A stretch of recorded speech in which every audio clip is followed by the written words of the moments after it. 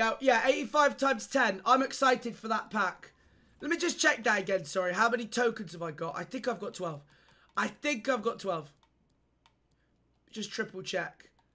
Yeah, I got a couple of objectives to do, but 12 so far. As long as I get enough for the 85 times 10, I'm, uh, I'm, a, I'm a happy man.